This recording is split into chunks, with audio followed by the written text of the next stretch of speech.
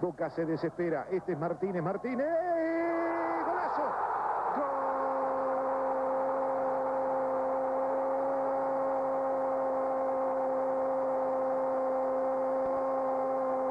¡Golazo del Manteca! Sergio Daniel Martínez.